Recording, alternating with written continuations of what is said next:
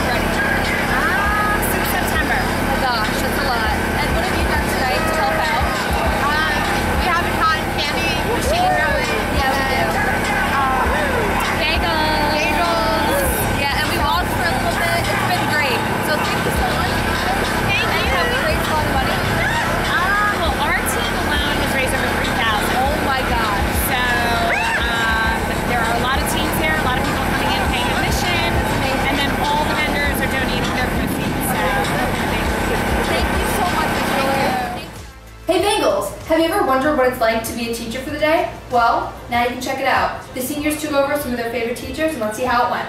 So how does it feel taking over for Miss Smith? Um, it's actually awesome considering the fact that I had I have her this year and I had her last year, so it's kind of cool like teaching other people how to do the same things that I actually learned. So.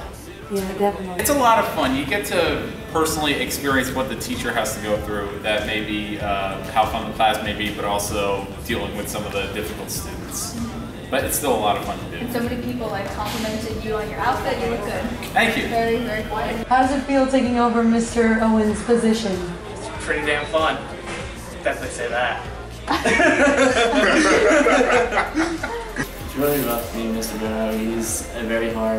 hard just how he does his classes. It's And he's so handsome. Awesome. And, And he's handsome. He's very, very handsome. Handsome, and it's hard to live up to those expectations. Keep going. And if you meet him, he's a very nice teacher. Thank you for watching Bengal Buzz. You've got the spirit, we've got the scoop. And I'm uh, paying you well, aren't I? he's Come on. very, very good to do this. That's right. I gave him a book of passes that he could sell on eBay. So he gave me a whole bunch of books on passes on eBay. This is Bengal Buzz.